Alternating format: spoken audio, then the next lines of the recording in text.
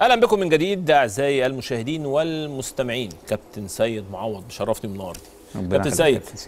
برك إيه؟ كله تمام زي الفل. عامل؟ الحمد- كله الحمد كويس؟ لله زي الفل الحمد لله. لعبت كام فاينل؟ آه، أفريقيا لعبت أربعة. يعني لعبت ثلاثة مع النادي الأهلي وواحد مع الإسماعيلي. الإسماعيلي كنت في الملعب؟ آه إسماعيلي مباراة العودة كنت كنت موجود. موجود. المباراه الأولى كنت موقوف آه، أنيمبا. خسرنا 2-0 وبعد كده واياميها كان ذهاب وعودة.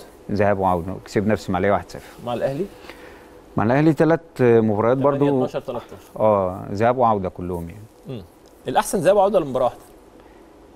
لا هو أكيد ذهاب وعودة بتبقى يعني بمعنى أصح بتبقى عارف من المباراة الثانية أنت محتاج إيه.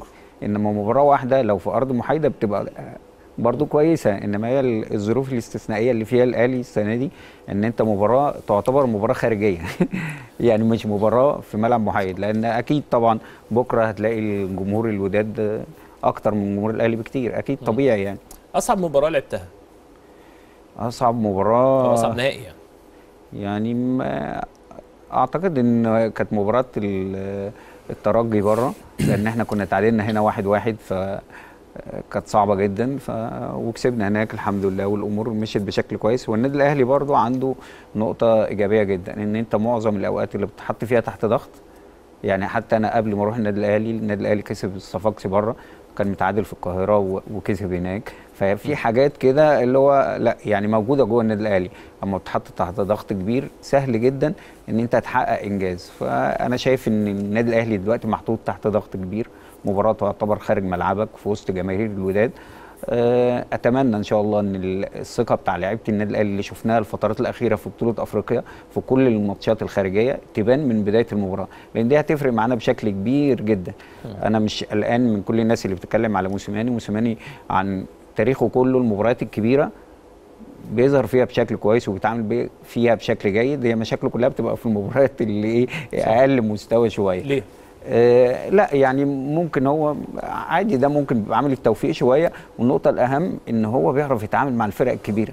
والفرق الكبيرة بمعنى أصح كمان الفرق اللي بتهاجمه مش الفرق اللي بتعتمد على الناحية الدفاعية. الألفاظ دي بنقولها. بس هي معناها إيه؟ يعني معنى إيه إن أنا نجيد اللعب مع الكبار بس؟ طب والصغيرين إيه قصه لا يعني اللي بيهاجمك بتشتغل في دفاعاته بشكل جيد اللي آه. بيقفل عليك بيتعبك؟ آه طبعا طبعا.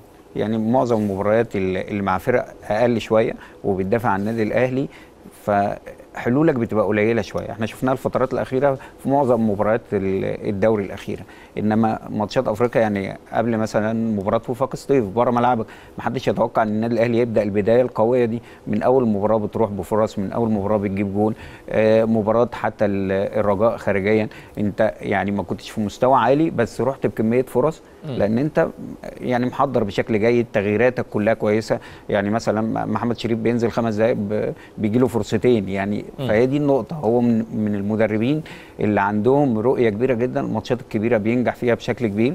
فأتمنى إن شاء الله يبقى في توفيق بكرة للموسيماني ولكل اللعيبة. هو فنيا النادي الأهلي بعيد عن أقرب منافسيه في البطولة الأفريقية ولا المنافسه ولا المستويات متقاربة؟ لا يعني هو مش بعيد قوي. في فرق كويسة جدا. يعني سان داونز كان من الفرق كويسة جدا بس خرج. في ظروف ممكن بعض المباريات يعني بيبقى فيها عامل التوفيق شوية أو تعمل نتيجة على ملعبك وحشة تطلع بره تخسر. فيعني الوداد من الفرق الكويسة جدا. بوجود جماهيرها. يعني الفرق المغربية عامة وجود الجمهور بيفرق معاه يعني في بعض الأندية كده يعني نتكلم في مصر مثلا أهلي زمالك إسماعيلي في وجود الجمهور بيفرق بشكل كبير جدا. صح. يعني هتتكلم في المغرب الوداد والرجاء نفس الكلام. فهي النقطة فرقة الوداد مش أنا وجهة نظري فنيا إن هي مش من الفرق الجامدة جدا بس وسط الجمهور لا أكيد يعني عنصر مهم جدا بالنسبة لهم يعني. من من وجهة نظرك برضو الاهلي اسم كبير بخبرات سنين كتيرة جدا جدا جدا. ده يمثل كام في المية؟ قصاد الجمهور يمثل كام في المية؟ لا يعني خبرة النادي الأهلي م- أعتقد إن هي 60% إن هي تبقى في صالحه إن أنت اسم النادي بيساعدك بشكل كبير. تقدر تتعامل باختلاف الأجيال باختلاف اللعيبة اللي مرت على النادي الأهلي باختلاف المدربين حتى. عندك القدرة إن أنت تتعامل في ظل الظروف الصعبة. آه، نقطة الجمهور زي ما قلت لك في فرق بمعنى أصح بيبقى ليها إضافة. الوداد من الفرق دي يعني في وجود الجمهور بتحس إن هي اللعيبة عندها حماس أكتر بيروحوا على طول بيبقى من أول دقيقة ضاغطينك إنما أظن النادي الأهلي إن شاء الله لو بدأ المباراة بشكل جيد وتعامل بشكل جيد في بداية المباراة هتفرق معاه بشكل كبير بتنام بالليل إزاي؟ قبل أي بطولة يعني قبل أي قبل. أي مباراة من البطولات النهائية دي أنا أظن يعني ما- أعرفش الوقت بتاعنا الحمد لله كانت الأمور بالنسبة لنا وانت لعيب خلي بالك بتلعب مع مين يا؟ أنا كنت بقعد آه، مع احمد فتحي على طول على طول على طول آه واحمد فتحي فتحي- بي- بينام ولا بيسهر؟ لا آه، إحنا من الناس اللي بتنام بدري يعني بتنام الساعة كام قبل الماتش؟ لا يعني 11 12 بالكتير وتصحى كام الصبح؟ لا يعني طبيعي كنا كلنا بنصحى نصلي الفجر وبعد كده ننام تاني ونصحى على الفطار تسعة أو على حسب ميعاد الفطار. بس إحنا يعني ايامنا كنت بتحس ان انت عندك ارتياح شوية. يعني انت عندك ثقة في كل اللي حواليك سواء لعيبة سواء ال- الأجهزة الفنية اللي موجودة معاك. يعني انت بتنام وانت عارف انك كسبان بكرة؟ مش كسبان بس مش قلقان. آه. يعني بمعنى أصح لا مفيش حد يقدر يقول لك أنا هكسب بكرة أو أعمل حاجة. بس انت بتبقى بناء على ال- اللي حصل خلال الفترة الأخيرة بيبقى عندك ارتياح. كان التشكيل بيتعلن إمتى؟ طبيعي جدا بيبقى باين في التمرين. قبل المباراة بيومين ثلاثة ممكن ما حدش يعرفه إنما باين اللعيبة كلها عارفة مين اللي. هيلعب من آه، آخر تمرينتين ثلاثة إنما يوم المباراة هي المحاضرة اللي بيبقى تأكيد على التشكيل نفسه. عمرك ما اتفاجئت؟ اتفاجئت بس مش في النهائيات يعني آه. اتفاجئت في في مواقف كتير. يعني أبقى, كتير؟ أبقى داخل المحاضرة. آه يعني كان حصلت لي آه، مش كتير قوي يعني ثلاث أربع مرات. بس كلها مفاجآت اللي هو تبقى داخل المحاضرة. يعني يعني أنا مرة مثلا مع المنتخب كان عندي إنذارين وبنلعب ثالث مباراة في 2008 آه، في دوري المجموعات. ودخلنا المحاضرة. أنا مأقلم نفسي أنا كان عندي إنذار. وفي ثلاث لعيبة تانيين عندهم إنذارات. فأنا مأقلم نفسي إن إحنا الأربعة أكيد هنقعد. إحنا كده كده كنا صعدنا أول مجموعة ومعانا لعيبة كتير. يعني أنا. كان البديل بتاعي طارق السيد موجود من أول بطولة وما لعبش دقيقة. فأنا اللي لعبت المبار... آه، أول مباراتين 90 دقيقة. فداخل المحاضرة عادي. الكابتن حسن بيقول التشكيل. فاول ما وصل عندنا وقال سيد معوض أنا من الناس اللي اتفاجئت إن أنا هلعب. أنا مأقلم نفسي قبل المباراة بيوم إن خلاص. هو الثلاثه التانيين قعدوا احتياطي وأنا ال- الوحيد اللي لعبت.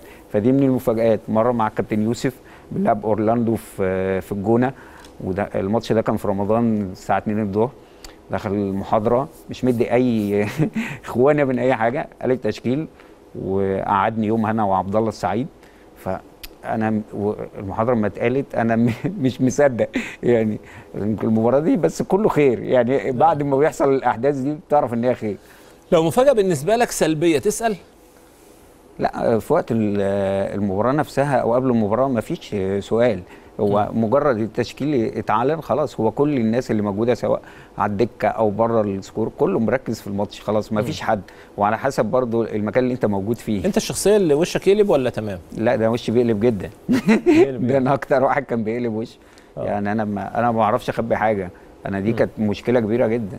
يعني أنا ما يعني ما- مين اللي جه في مرة قال لك افرد وشك؟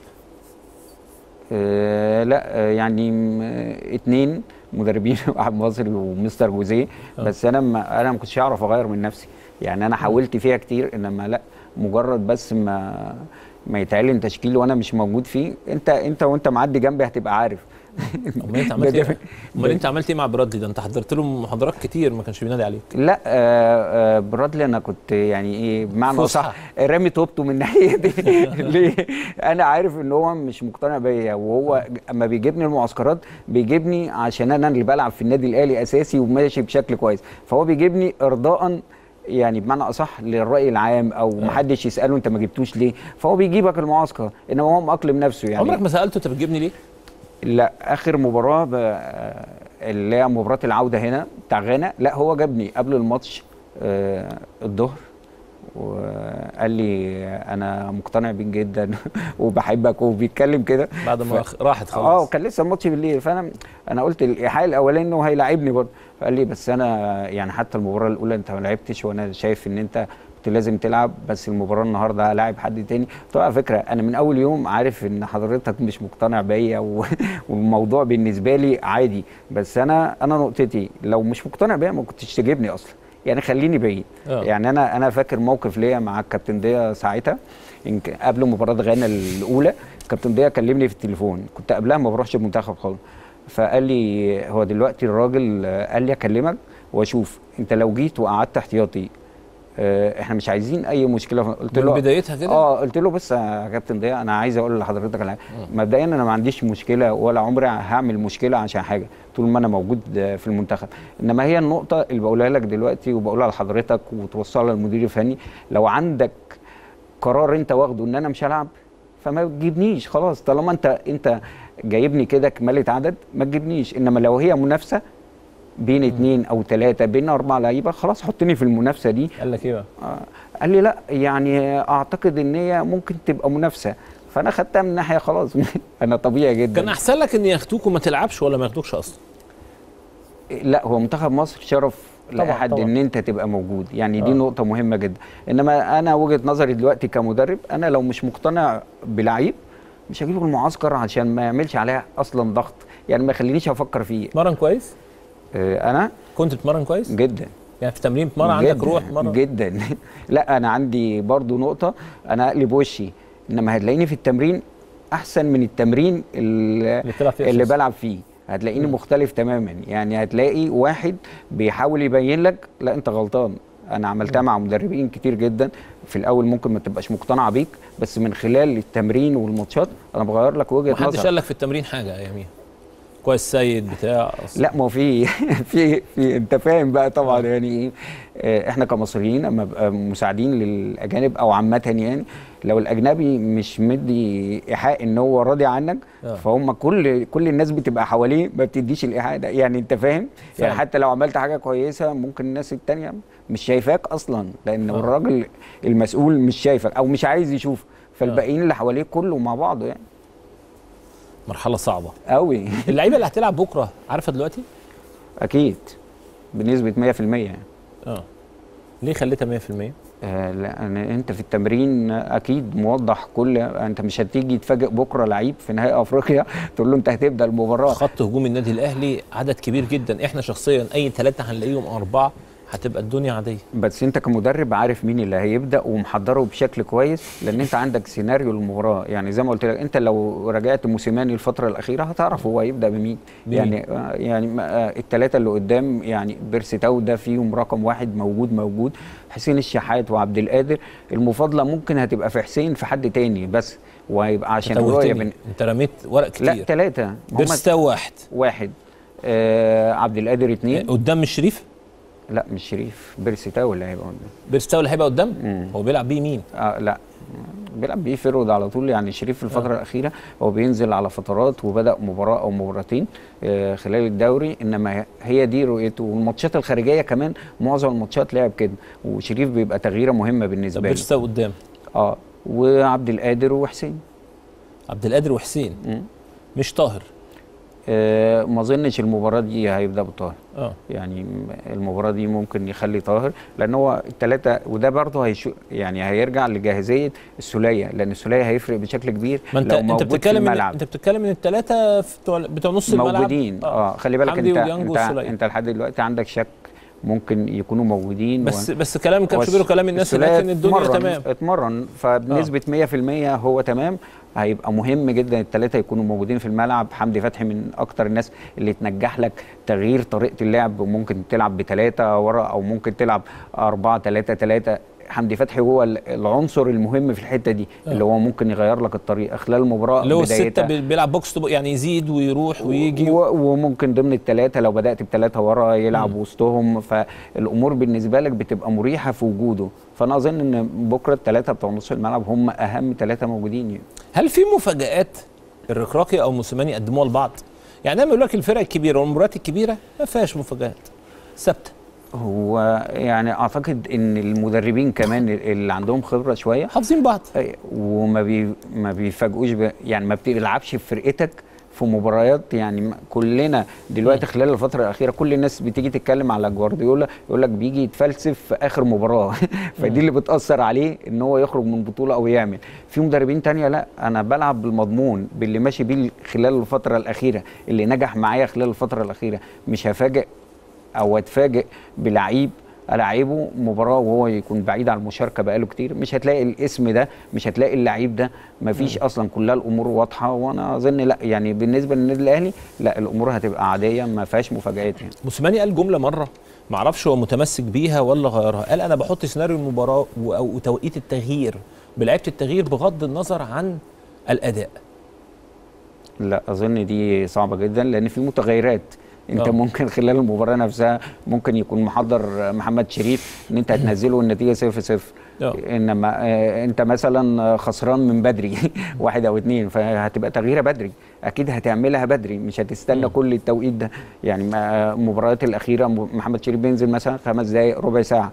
انما لو النادي الأهلي خسران اتنين تلاتة هينزله في نفس التوقيت؟ لا أكيد هيبقى بدري شوية. فهي بناء على الم- في متغيرات. متغيرات أنت لازم تتعامل معاها أثناء المباراة. أنا ممكن أكون محضر حاجة ومحضر سيناريو بس آه، سيناريو بتاع بكرة. أنت وأنت بادئ المباراة جبت جون بدري. أكيد تغييراتك وكل فكرك هيبقى متغير. على حسب آه انت مضغوط هتنزل حد في نص الملعب آه، مش مضغوط الأمور ماشية بشكل كويس. لا قدر الله دخل فيك جون بدري. ما انت أكيد لو بتلعب بثلاثه هتخليهم بتلعب بأربعة وهتزود في نص الملعب. يعني كلها أمور على حسب الوضع اللي انت شايفه. الجمهور ده مع اللعيبة يمثل إيه يا سيد؟ يعني يعني هل ممكن لعيبة الأهلي النهارده بتفكر مثلا هنبدأ بكرة المباراة ضاغطين هاجمين في وسط جمهورهم؟ ولا دي بتبقى صعبة؟ بتخ... بتاخد أول خمس دقائق قصة مختلفة؟ لا هي مش صعبة بس لازم يبقى في شخصية موجودة. شخصية موجودة إن أنا ببقى واقف على رجلي من أول دقيقة. مش حاسس بالضغط الكبير من ناحية الجمهور. الشناوي قال نقطة مهمة المباراة اللي فاتت بتاع الرجاء في المؤتمر قبل المباراة. اتكلم في نقطة إيه؟ الجمهور مش هينزل يلعب. الجمهور مش هينزل الملعب. فهم 11 ضد 11 فهي النقطة بداية المباراة لازم الثقة تكون موجودة. أنا لعيب كبير معظم اللعيبة اللي موجودين في الملعب هم لعيبة دوليين. مم. يعني حتى اللي في منتخب مصر والمنتخبات الثانية انت بتتكلم على لعيبة كلها إيه خبرة. الماتش اللي الجمهور هزك فيه؟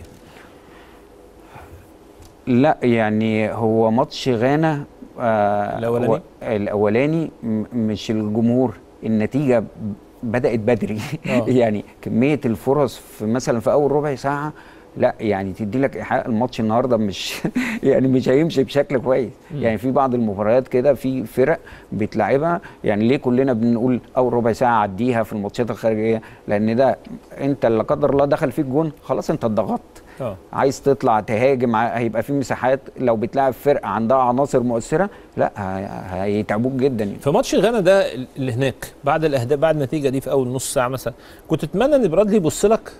ولا نتمنى إن هو يبص لك لا يبص لي. أنا من آه. الناس اللي آه. الحمد لله يعني ما أنا يعني كل ما يبقى عندك ثقة في نفسك وإن أنت تعمل إن أنت عندك القدرة إن أنت تساعد فرقتك ده شيء إيجابي جدا. لأن أنت خلي بالك هي الحلول مش إن أنت تبص لك بص لأي back left تاني. أنت عارف لو عبد الشافي قاعد احتياطي كان لازم يلعب. أنت فاهم؟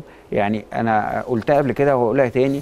المباراة دي لو برادلي بس يتعامل فيها بشكل جيد كان بقى عندنا فرصة بمباراة العودة. إنما مجرد إن أنت فتحت الملعب أكتر عشان تعوض النتيجة اللي هناك خدت ستة. انت كان المباراة لو خلصت 3 خلي بالك 1 ده الدرس ال- ال- ال- درس اللي عاشه. اللي عاشه بعد كده كوبر وعاشه. بعديه كمان كيروش. و- وليه كوبر نجح.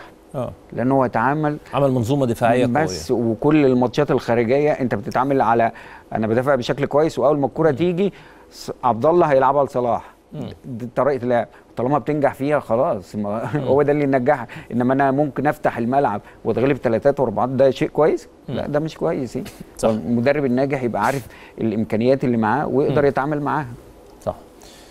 توقعاتك بكرة إن هو في احتياج بكرة لدكه بدلاء ولا التغييرات طبيعي تكون متاخره ما على حسب النتيجة. بس طبعا ال- الد- الدكة مهمة جدا. لما يبقى عندك عنصر أو اتنين يعني خلي بالك آه، قفشة الفترة الأخيرة بيلعب على فترات بس هو عنصر مهم. يعني في تغيير الطريقة إن الملعب برضو بعد الدقيقة 60 عامة كل المباريات بيبقى فيها مساحات أكتر. ليه فجأة لقينا طريقة اللعب اتغيرت مع كيروش ومع موسيماني وبقت 3 2 1 وبقت مفيش 10 لأن عشرة ده طول عمره أو إن كل الناس متعودة عليه هو الراجل بيستنى الكرة أما تجيله ويبدأ يلعب في مساحات إن هو ما بيدافعش بشكل جيد على طول معظم الوقت وهو فاضي. فدي نقطة دلوقتي صعبة يعني دي نقطة صعبة لأن أنت كل الفرق دلوقتي لازم ه- عندك دور دفاعي هتأديه بشكل كويس والدور الهجومي بتاعك. فإن أنت يبقى عندك واحد هو متمركز بس بعد نص الملعب لأ هتلاقي ع- آه، عشرة على طول كل اللعيبة اللي موجودين. اتكلم من جوه مصر أو بره مصر طريقة جريهم أو معدل جريهم أقل من اللعيبة الثانية أنت دلوقتي عندك إمكانيات لما بتلعب بثلاثه نص ملعب أنت بتحافظ على المنظومة الدفاعية وبتهاجم بشكل كويس. فخلاص طالما عندك واحد زي السوليه بيقدر يهاجم آه هو. بيس هو بيستخدم واحد من الثمانينتين هو يعملها. آه بس. يعني هي دي وهل. هو بيلعب 3 3 ولا 3 2 1 موسيماني؟ آه. موسيماني بيغير الطريقة على حسب يعني مثلا معظم الوقت هو بيبدأ ب 3 4 3 يعني هاني وعلي معظم الوقت هم لعيبة نص ملعب.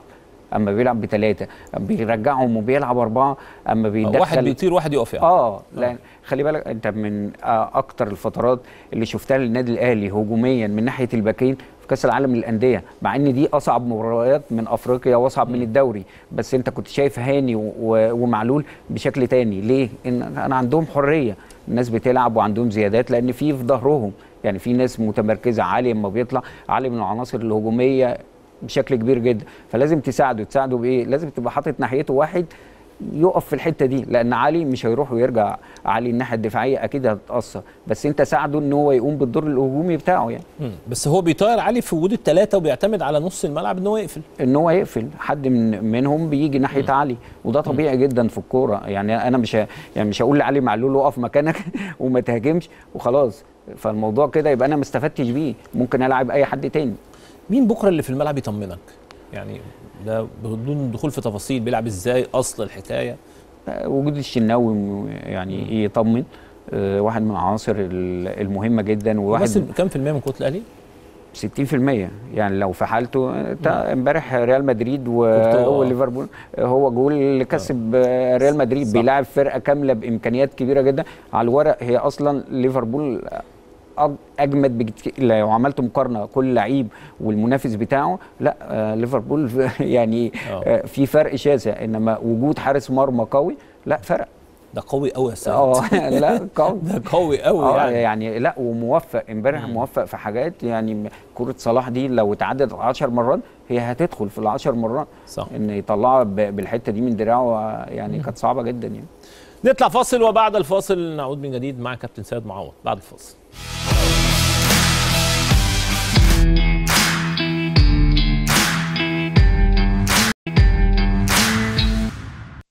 يا أهلا بكل مشاهدي قنوات اون تايم سبورتس في كل مكان ومن خارج استاد محمد الخامس وقبل ليلة واحدة من انطلاق لقاء النادي الأهلي والوداد يسعدنا نلتقي بمجموعة من الجماهير الأهلاوية. أهلا بيكم على اون تايم سبورتس ال- الجمهور طبعا متحمس جدا. قول لي رأيك رأيك في اللقاء وتوقعاتك. توقعاتنا إن شاء الله إن إحنا موسيماني عند المباريات الصعبة دي بيكون عند حسن عند حسن جماهير الاهلي الأهلي. إن شاء الله بإذن الله الأهلي ال 11 هناخدها من هنا بإذن الله. شايف الحماس اللي موجود عند الجماهير ده ممكن ينعكس على اللعيبة ومن الأشياء إن شاء الله تكون في صالح النادي الأهلي. إحنا ورا لا ورا النادي الأهلي في أي حتة في العالم. إحنا ورا النادي الأهلي في أي حتة النادي الوحيد اللي بيفرحنا. والله هو الماتش طبعا هيكون بين ناديين كبار الوداد والنادي الأهلي.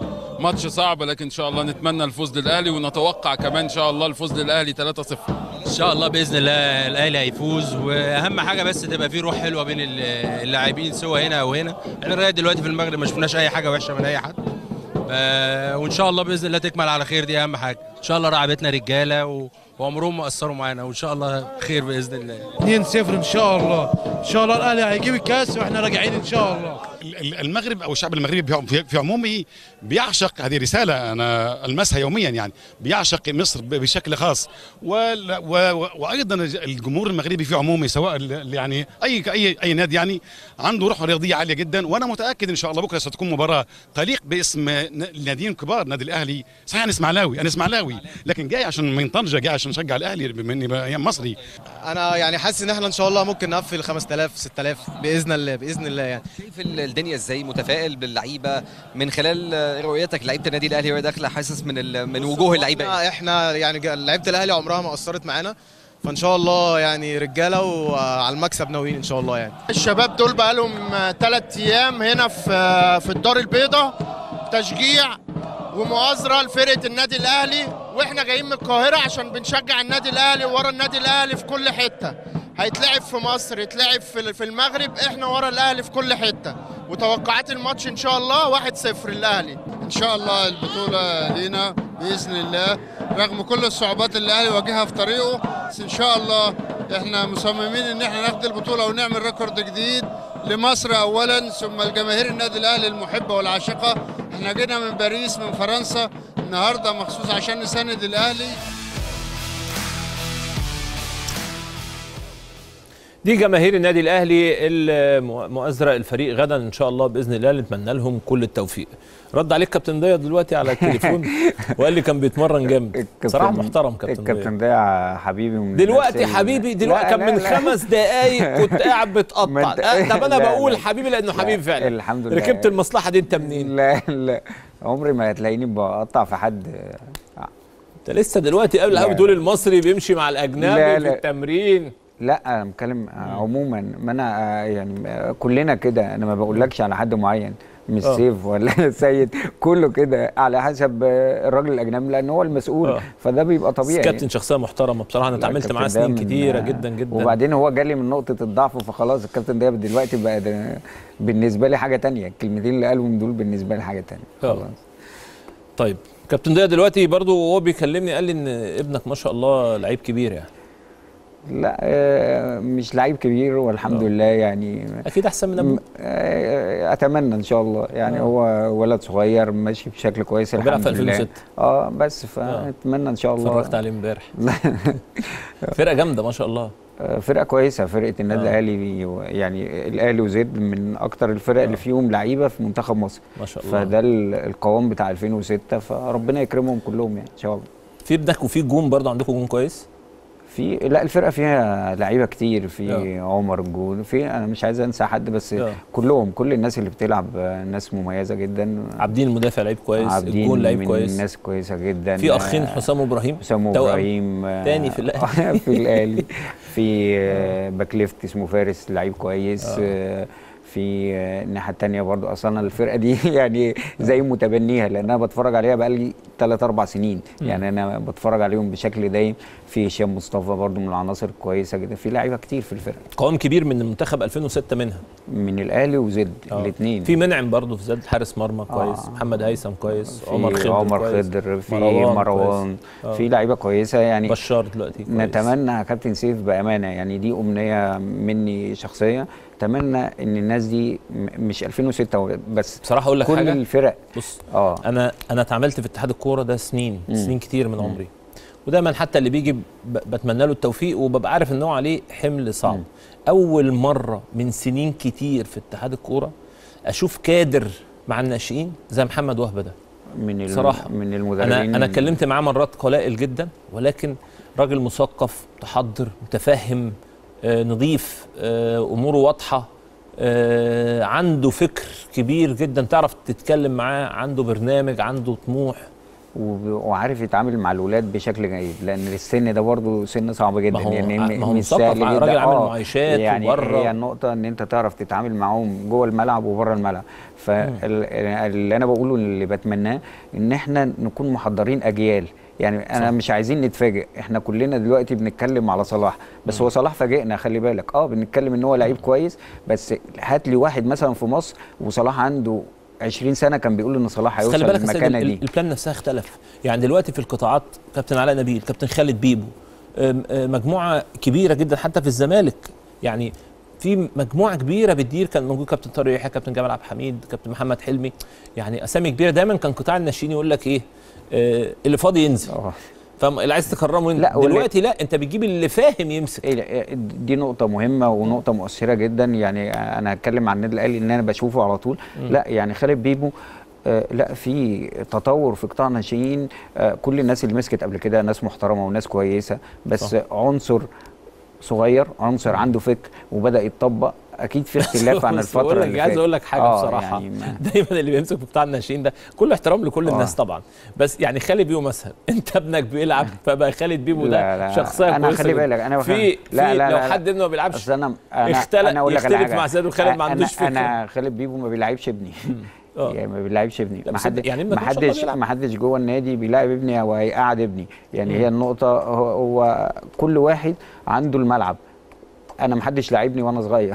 أنت فاهمني؟ هو الملعب اللي خلاني لعيب كورة. ما حدش وداني منتخب مصر بيجاملني. هو اللي بيلي بوش ذاك آه، عمر؟ آه طبعا. بت- بس أنا بحاول معاه بقى. آه، ما. تقولوش بقى لا، دي لا لا. لا. لا أنا بحاول معاه في دي لأن أنا أنا كل حاجة وحشة عملتها. أنا مش عايزه يعملها. أنا أنا كنت هدخل من النقطة بتاع صلاح في إيه؟ صلاح هو اللي عمل نفسه. صح. ليه إحنا ما نعملش يعني شفنا واحد نموذج قدامنا عامل واحد اتنين تلاتة. صح. امشي كلنا على واحد اتنين تلاتة. نفسك تسفره؟ أكيد يعني ما أنا نفسي يكون لعيب مهم في النادي الأهلي وأكيد برضو الطريق اللي إحنا شفناه صلاح سهل على ناس كتير جدا الطموح. يعني ممكن لو قلت لك من 10 15 سنة إن حلم أي لعيب كرة في مصر إن هو يحترف هتشوف النماذج كلها. آه هيحترف يومين ويرجع هيحترف في أندية وسط الجدول. إنما صلاح ودى الناس حتى الأحلام في حتة تانية يعني. صح. نرجع للأهلي. بكرة الشناوي الصمام أمان للنادي الأهلي؟ أكيد. إن شاء الله يعني إن شاء الله ربنا يكرمه ويكون من العناصر المؤثرة في الحصول على البطولة مم. إن شاء الله. طيب وأنت معانا ناخد الكابتن أحمد ناجي مدرب حراس نادي سيراميكا والمنتخب الوطني السابق. كابتن ناجي مساء الخير. مساء الخير عليك وسيف وطبعا وعلى السيد وحلقة جميلة بستمتع يعني. ربنا يخليك يا كابتن. يعني الكابتن سيد بيقول لك كان بيقلب وشه زمان. كابتن ناجي حبيبي. كان بيقلب وشه زمان يا كابتن. كابتن ناجي شافني كتير. هو ما كانش بيقلب وش كتير عشان ما كانش بيقعد. كتير لا يا كابتن ده ده, ده, ده في فترة بالكامل ريح يا كابتن. بس هو شايلها من حياته. لا سيد طول عمره واحد من الناس اللي فعلا يعني كان محترف في زمن لسه ما كانش الاحتراف يعني موجود بالشكل ده لأنه كان فعلا غيور جدا على إنه يكون موجود وده طبعا إحنا صفة كمدربين بنحبها في التعليم كتير يعني. هو دلوقتي بقى مدرب كبير و... واللعيب الموظف ده ما, ما أنت ما تحبوش كمدرب يعني. إن هو يقعد ما يقعدش يلعب ما يلعبش فما عندوش reaction ما عندوش ردة فعل. طبعا بتحس إنه ده يعني ما هوش caring بالموضوع يلعب يلعب ما يلعبش ما يلعبش لا. طبعا لما يبقى زعلان إحنا ك- كجهاز فني كنا بنبقى مبسوطين إن هو زعلان وغيور إنه ما بيلعبش. وتلاقيه في التمرين أفضل من قبل كده. تلاقيه في التمرين مش إن هو قلب وشه آه، يجي بقى ويدلدل وما يتمرنش لأ سيد كان بيجي يعني يعمل إحراج للمدربين يعمل إحراج صح. للجهاز. صح.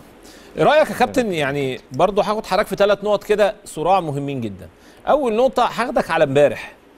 رأيك إيه في اللي حصل إمبارح؟ ورأيك إيه في كورتوا أداؤه إمبارح مع ريال مدريد؟ فانا أول حاجة عملتها نزلت له هو و- ومدربه لويس آه، بوبولوس آه، post كده على الصفحة عندي. قلت أبطال آه، دوري أبطال أوروبا هو كورتوا ومدربه. لأنه طبعا ده ابن كار يعني اللي هو المدرب ده ابن كار يعني. طبعا. قلت أديلهم حتة كده ولا حاجة يعني. طبعا مع طبعا إن أنا كنت شايف إن المباراة آه، بصراحة هتزعل الليفربول جدا لأن هي one side game تقريبا. صح. مفيش حارس في في أي مباراة في الدنيا يعمل تسع إنقاذات حقيقية. تسع إنقاذات يعني الجهاز العصبي ما يستحملش يعني قدر التركيز اللي كان مركزه كورتوا امبارح.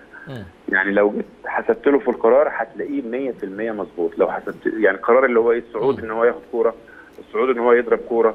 بناية اللعب آه، كل الحاجات دي كانت excellent.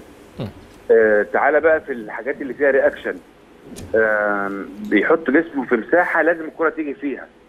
يعني مثلا في واحدة شالها من صلاح بكتفه أو بجزء من كتفه وجزء يا كابتن. يا كابتن ده بيحط رجله وإيده وصدره أنا وراها لسه جاي لك جاي لك آه. جاي لك في كل ال- ال- عارف أنا عشان بندرب حراس زي بعض يا كابتن فتلاقينا كورتوا كان عنده صعوبة في الكور اللي فيها drops اللي هو فيها النزول من فوق لتحت آه. كان عنده صعوبة. امبارح بينزل على الكوره في كسر من الثانية بطوله دوت أطول من 200 متر. صح. لكن بينزل في كسر من الثانية على الكور الأرضية. ده طبعا تطور فظيع في مستواه. لأن أنا ما أنا عن شخصيا يعني ما كنتش أحب كورتوا أو أداء شكل الأداء بتاعه. يعني شكل أداؤه آه، جول طويل فمفتقد للرشاقة في بعض الأحيان. لكن امبارح آه، طبعا ده يحسب لمدرب عظيم. كان أنا أعتقد كده. لأن العناصر الفنية والبدنية والذهنية عنده راحت في حتة تانية خالص. يعني المباراة دي أنا شايفه آه، كل حاجة عملها آه، طبعا ال- ال- الثبات والثقة في النفس وزي ما تقول هو رايح المباراة دي رايح يجيب الكاس. يعني ما يعني في مباريات كده بيبقى فيها الحارس. يعني زي مباراة إن شاء الله النادي الأهلي. يعني لو أنت بتعمل تجهيز نفسي للشناوي أو أو تعد إعداد نفسي للمباراة بتقول له انت هتلاعب فرقه الوداد دي لوحدك. ماشي مستعد. اتفقنا. يعني فهو ده بيبقى ال- ال- دور المدرب في ال- في التجهيز ال- آه، الذهني والنفسي على أساس إن الحارس يبقى مستعد إن الكوره هتبقى عنده كل أكيد مدرب ريال مدريد اتعامل كده مع كورتوا قال له أنت كل دقيقة عارف طبعا الفروقات الفردية بين بين دفاع آه، ريال مدريد وهجوم آه، ليفربول. في فرق شاسع في كل حاجة في الثلاثة اللي بيلعبوا قدام في ليفربول والأربعة اللي بيلعبوا ورا في في في ريال مدريد. في فرق سرعة وفي فرق في تكتيك. يعني ريال مدريد ما كانش بيلعب بأي تكتيك امبارح. اللي هو يعني بيلعب تحت الكورة والدفاع البحت. راحوا كورتين جابوا كورة ومنهم بس ما انتش فاكر انت أليسون في كورة تانية؟ صح. خالص. تجهز بكرة الشناوي إزاي يا كابتن لا الشناوي بص هو يجهز بلد دلوقتي. آه. ربنا يديله الصحه آه يعني الشناوي هو طبعا مصدر آه، يعني قوة ومصدر آه ارتياح. يعني إن دايما أنا أقول إن حارس المرمى وسيد طبعا عارف الكلام ده كويس. الناس تبص وراها كده تبقى مطمنة. تبقى عارفة إن فيها وراها حد آه، هيبقى متحمل المسؤولية بشكل جيد جدا. متحمل المسؤولية في أدواره وأدوار الآخرين. صح. يعني أدوار الآخرين بمعنى إيه؟ التنظيم الدفاعي والتحفيز والموتيفيشنز والحاجات اللي هي اللي خلاص بقى هو حافظها وبقى هو يعني أستاذ فيها. وجبنا له كذا لقطة قبل كده وهو بيتكلم مع اللعيبة بعد المباريات وبعد البطولات واثناء. يعني كأنه مدرب في الملعب يعني عنده خب- خبراته زادت بشكل رهيب بحيث إن هو بقى ما حدش يخاف عليه هو بالعكس هو بقى مصدر ثقة ومصدر قوة للآخرين فأنا مش قلقان عليه خالص وإن شاء الله بكرة إن شاء الله. بعد بكرة إن شاء الله يعمل لنا حاجة آه، يجيب لنا الكاس ويجي إن شاء الله إن شاء الله اختيارات المنتخب يا كابتن كحراسه مرمى يعني آه، متفق حضرتك عليها هو طبعا أنا كنت متوقع كان في جدل على جبل. آه ولكن طبعا آه هو جبل ليه رصيد في المنتخب مع في البطولة العربية والبطولة الأفريقية. وفي كل وقت احتاجوه فيه فالرصيد ده آه خلاه يبقى يبقى قريب من المنتخب. و... والولدين التانيين. إما سألتك هو احتياطي قلت لي لو أنا هاخد أبو جبل برضه. أيوه طبعا. بس في آخر في في ال- في الفترة الأخيرة دي جالي بعض الشك إن ممكن لأن هو قعد فترة طويلة. يعني في يعني مش عايز أقول اهتزاز يعني عدم تركيز يعني. كان في عدم تركيز. لكن مثلا لما يعني الحضري مثلاً لما كان معانا. أما كان بيبقى عنده هفه ولا حاجة خلاص هو ليه رصيد مفيش مشكلة. صح. يعني خطأ في كل شهر ولا كل شهرين ما, عندناش مشكلة. آه. تقدر تتقبله يعني. أهم أهم حاجة يا كابتن في الحارس الكبير إنه يغلط غلطات مختلفة في أوقات متباعدة. ده أنت بقيت حافظ سجل وبقيت سجل. عندك كابتن لأن إحنا اثنين مدربين بيتكلموا مع بعض يعني. سمعتك في الإذاعة قلت الله. أيوه يا كابتن مع أبو العيله صح مع أبو العيله صح. إحنا يا كابتن بناخد الكلام ونشتغل فيه بعد كده حضرتك عارف يعني. ربنا يوفقك. الشناوي بكرة يا كابتن رب. لحضرتك إن شاء الله. شاء الله، يا رب توفيق للنادي الله. الأهلي. الله أشكرك يكرمك كابتن أحمد. تشرف بوجودك دايما. الله يكرمك أشكرك شكرا جزيلا. كابتن أحمد ناجي مدرب حراس مرمى نادي سيراميكا والمنتخب سابقا. فاصل وبعد الفاصل نعود من جديد مع الكابتن سيد معوض بعد الفاصل.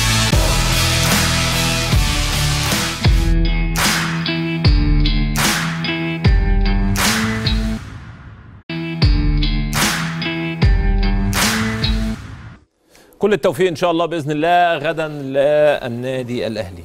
المنتخب الوطني اختياراته رأيك فيها إيه؟ اختيارات آه، جيدة بداية جيدة إن في عناصر آه، كتير اللي تألقت في الدوري خلال الفترة الأخيرة هيبقى ليها دور. طبعا آه، طبيعي جدا مش هيبقى ليهم دور في الأول بنسبة أو آه، إن هم يبقوا أساسيين. آه، بس الكويس إن هيتشافوا بمعنى أصح يعني. والفرصة الكويسة اللي ما كانتش متاحة قبل كده في فترات كتيرة جدا إن هيبقى في مباراة ودية. المباراة الودية دي بتساعدك بقى إن أنت ممكن تدخل عناصر كتير يعني. شايف من وجهة نظرك مفاجأة المنتخب مين؟ ولا في النهاية برضو نفس السؤال اللي هو هتبقى المنتخب ليه قوام أساسي؟ هن- هنرجع ليه. مع كيروش كان في دخول عنصر أو اتنين. هو أكيد المنتخب له قوام أساسي خلال الخمس ست سنين اللي فاتوا. بيتضاف عليهم عنصر أو اتنين. اللي بيظهر بشكل كويس جدا واللي بس كيروش ما كانش عنصر أو اتنين. كان عمر وكان عبد المنعم وكان مرموش. هو عبد المنعم ما كانش بادئ. الظروف هي اللي دخلته. عمر نفس الكلام. آه، الظروف اللي دخلته بعد إصابة أكرم. آه. فهي عناصر كلها ممكن الظروف تخدمك في لعيب إن أنت تظهره وهو خد الفرصة فظهر بشكل جيد خلاص هو ركب بمعنى أصح دخل جوه الفرق إنما في بعض العناصر ما في عناصر كتير لعبت في البطولة العربية. وما بقتش موجودة بعد كده. ليه؟ الاستمرارية مهمة جدا. وإن المدير الفني يقتنع بيك. فالنقطه بالنسبة للعناصر الجديدة كلها أنا شايف إن هي عناصر مهمة لأن هم تألقوا في الدوري وحقهم إن هم يكونوا موجودين وياخدوا فرصة. اللي هيثبت نفسه وهيظهر بشكل جيد أكيد هيكمل. طيب نروح ل من نروح لكازابلانكا على الهواء مباشرة مع زميلنا أيمن مصطفى ونشوف الأجواء هناك. أيمن مساء الخير اتفضل. أهلا بيك كابتن سيف واهلا بكل مشاهدي قنوات أون تايم سبورتس في كل مكان من هنا من كازابلانكا وقبل حوالي أقل من 24 ساعة واللقاء المرتقب ما بين الأهلي والوداد. آخر طبعا ال- الأخبار الخاصة بعدد التذاكر المسموحة لجماهير النادي الأهلي والخطاب أو البيان اللي ارسله النادي الأهلي إلى ال- الكاف. والأمور يعني متوترة بعض الشيء واتكلمت مع بعض أعضاء مجلس إدارة النادي الأهلي اللي فعلا أكدوا إن هم ما حصلوش إلا على 2500 تذكرة حتى الآن وإن هم بيتكلموا إن في حالة حتى عدم آه، تواجد 10000 مشجع من النادي الأهلي. حق أصيل للنادي الأهلي إن هو يحصل على حصته كاملة. آه، في كل الأحوال حضر ال 10000 أو ما حضرش ده كان الأهلي حقه إن هو آه، يحصل على ال- الحصة كاملة من ال- التذاكر. آه، نتكلم في الأمور ال- ال- الفنية وحالة اللاعبين. الحقيقة النهارده في التدريب الرئيسي اللي أقيم في آه، مركب محمد ال- الخامس وكان في حضور من مجموعة كبيرة جدا من ال- القنوات والإعلاميين سواء المغاربة أو المجموعة من القنوات المصرية اللي أيضا كانت متواجدة لتغطية ميران ال- النادي الأهلي. اللعيبة كانت آه، في حالة طيبة جدا يعني في بداية ال- التمرين آه، مش مشدودين مش متوترين أه مركزين لكن بشكل مقبول مش بشكل مبالغ فيه. وشفنا النهارده الحمد لله إن عمرو السولية لأول مرة منذ قدوم بعثة النادي الأهلي للمغرب إن الفرقة آه، إن عمرو السولية يتمرن التمرينة كاملة وإن شاء الله بنسبة كبيرة هيكون موجود بكرة في ال- اللقاء منذ ال- البداية إلى جانب طبعا حمدي فتحي وديانج الكل في حالة فنية ومعنوية طيبة جدا. النهارده حضر للتمرين النادي الأهلي في آه، مركب محمد الخامس. أيضا الأستاذ جمال علام رئيس اتحاد الكورة كابتن أحمد شوبير أيضا كان متواجد.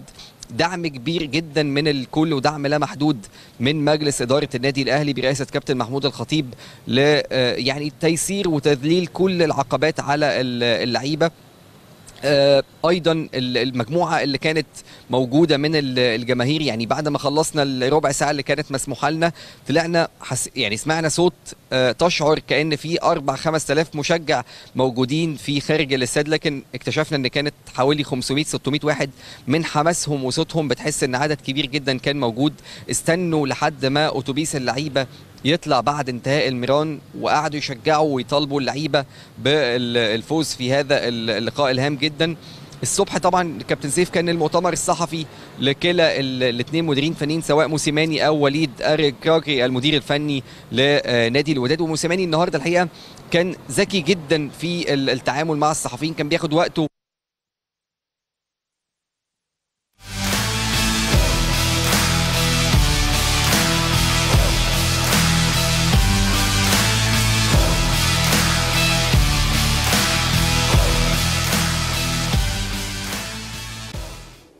مباراة زي كده كل 500 مشجع أو 300 مشجع يفرقوا مع النادي الأهلي. آه، يفرقوا يعني التواجد مهم بس ياما ماتشات كان جمهور الأهلي فيها آه، قليل جدا والنادي الأهلي كان بيكسبها. يعني عادي جدا يعني أنا مش شايف الموضوع برضو مش مش نقطة إن آه، لو حتى موجود 10 موجودين كان في ماتشات كتير بره ملعبنا بقى في ثلاثة وأربعة موجودين ومسافرين ورا الفرق والحمد لله كنا بنكسب. فالأمر ده أنا شايف إن هو كده كده جماهير الوداد هتبقى أكتر بكتير. يعني ده أمر واقعي لازم نعترف بيه. يعني حتى لو 10000 بالنسبة للنادي الأهلي هي النقطة دلوقتي عند لعيبة النادي الأهلي. لازم تحسس الناس جمهور الأهلي عنده ثقة كبيرة في لعيبته. فلازم تحسسهم بكده من بداية المباراة سواء الناس اللي موجودة في الملعب أو الناس اللي بتتفرج في التلفزيون بس. شايف إن إن إن يعني في الظروف زي كده إن موسيماني يبدأ مهاجم ويهاجم من قدام ويضغط ضغط عالي هو الطبيعي إن أنت لما بتف بتفتحش خطوطك بدري بتبدأ مأمن بشكل كويس. بس موسيماني فاجئنا خلال فترات كتير جدا. يعني أنا كنت موجود بحلل مباراه الهلال السعودي في كأس العالم للأندية. أي حد طبيعي الهلال كان قبلها بثلاث أيام بيلعب آه، تشيلسي. وعامل أداء قوي جدا ومن أفضل المباريات للهلال السعودي. وأنت عامل مباراة مش جيدة قدام بالميراس وأدائك مش جيد والناس كلها قلقانة لقوة فرقة الهلال. في بداية المباراة أول 10 دقائق ما فيش حد طبيعي هيقول النادي الأهلي بيهاجم. النادي الأهلي كان جايب جون كان مضيع ثلاث أربع فرص كان ع- يعني هو اللي رايح وهو اللي بادئ بالتسجيل. فيعني موسيماني خلال الفترات الأخيرة مباراه وفاق سطيف بره ملعبك. انت برضو نفس الكلام بتبدأ بشكل كويس جدا وبتهاجم بشكل كويس. بس الطبيعي في, في أي حد هيتكلم طبيعي في مباراة زي دي إن أنت هتبدأ أهم حاجة إن أنت محافظ على نفسك ما يروحش عليك صح. فرص كتير ما تب... ما, ت... ما تفقدش لعيبتك الثقة بدري إن في مساحات كتيرة تبدأ من أول دقيقة صح. تجري ورا لعيبة الوداد دي دي بتقلقك أنت كلعيب أنا لو لعيب باك ليفت مع أول كورة بدأت أجري ورا الراجل اللي بيلعب عليا خلاص دي ب... بتقلقك شوية. صح. نطلع فاصل وبعد الفاصل نعود من جديد مع الكابتن سيد معوض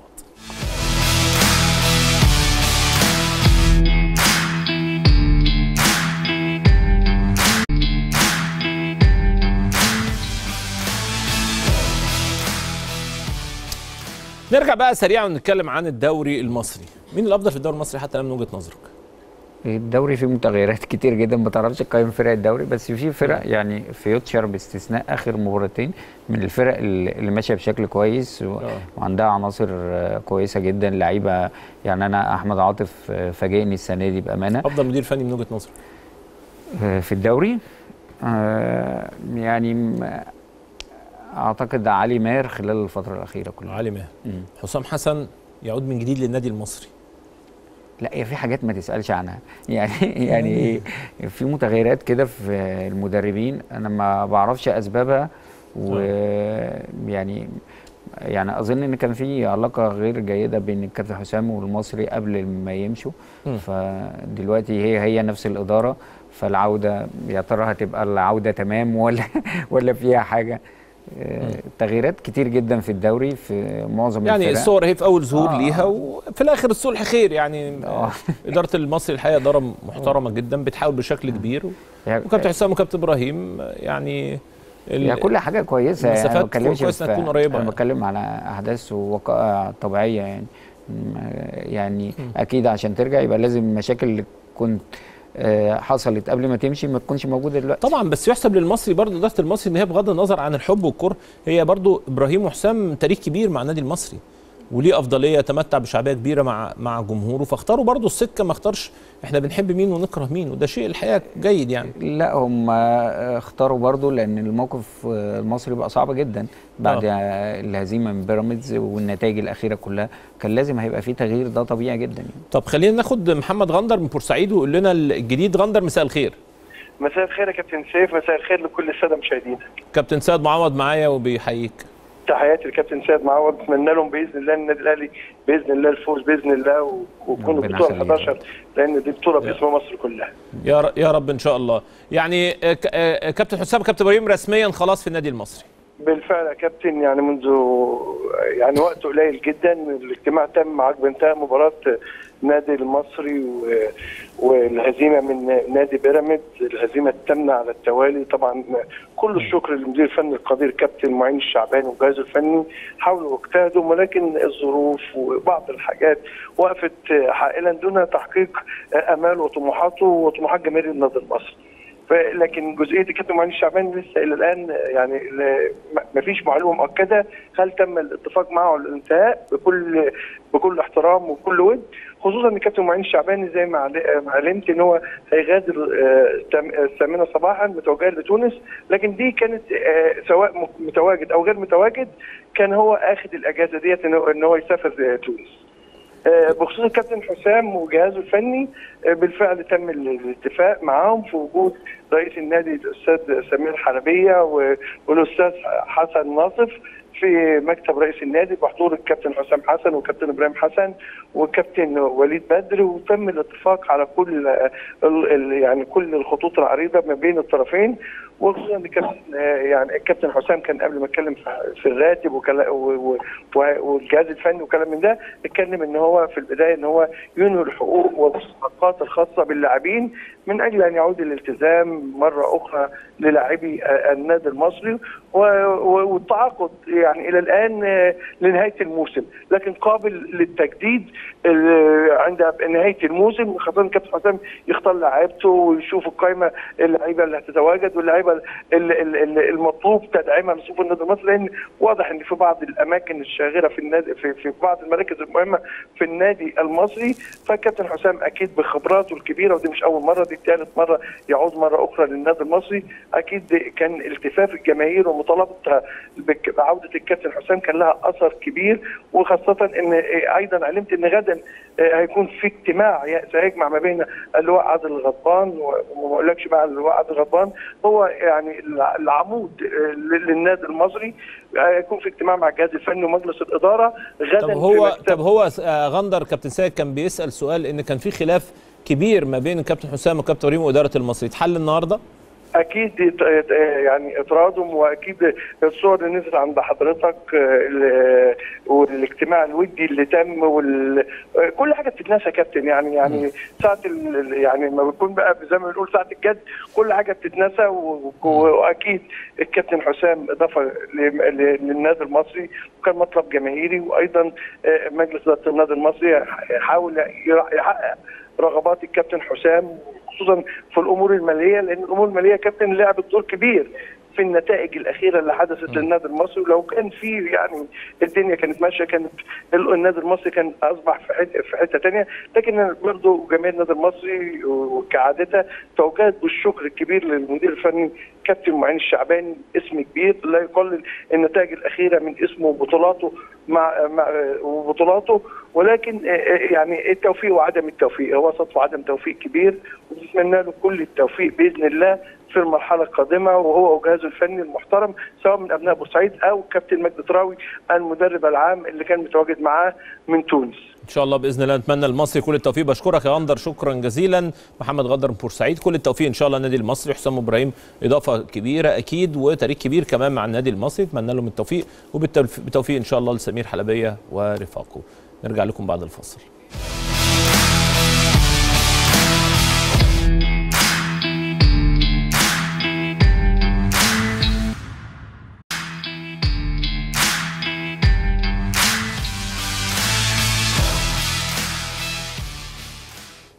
هل الدوري المصري هينتظر لصفارة النهاية هذا العام؟ أكيد يعني هينتظر في ظل أداء ال- الأهلي والزمالك خلال الفترات الأخيرة والتباين الكبير في المستوى هم بيرجعوا المنافسة لبعض بأمانة. يعني. الزمالك يعني خد هدية ده ما آه يعني الزمالك كان خسر ماتشات الأهلي لو كان رجع بال... بشكل كويس وكسب ماتشاته. كان كان باعد بشكل كبير. الأهلي لما خسر بدأ يقرب مع الزمالك فهي الأمور هتمشي كده لحد نهاية الدوري. أحمد عاطف آه. يقدر يبقى عنصر أساسي مع عنصر المنتخب؟ آه، يقدر. عنده القدرة. لعيب آه، جيد جدا. لعيب آه، متطور. يعني هو قبل كده لما كان في دجلة كان عنصر على كويس. حساب مصطفى محمد ولا لسه بدري؟ خلي بالك في فروق فردية هي اللي بتفرق. لا ما فيش لسه بدري. خلي بالك مصطفى محمد تاريخه مع منتخب مصر هو السنة اللي فاتت أو, أو من سنة ونص. يعني ما فيش مش حسام حسن اللي بقى له 10 سنين في منتخب مصر. يعني المسافة منهم قريبة. المنافسة طبعا موجودة طبعا. يعني أحمد عاطف دلوقتي حاليا بمستواه حاليا عنده القدرة إن هو يكون المهاجم الأساسي لمنتخب مصر. تصريح ناري ده. شرفتك يا كابتن سيد. ربنا يخليك كابتن سيف. مبسوط إن أنا كنت معاك. شرف ليا. ربنا يخليك أشكرك كابتن. حبيبي خلصنا حلقتنا النهارده مع الكابتن سيد معوض بشكره شكرا جزيلا. بكرة إن شاء الله بإذن الله يوم طويل. بكرة يوم مهم في تاريخ النادي الأهلي. إن شاء الله بإذن الله. بكرة ال11 ال11 بكرة أهلي. بكرة إن شاء الله بإذن الله يا حسام الأهلي. نكون معاكم بكرة بالليل على ألف خير.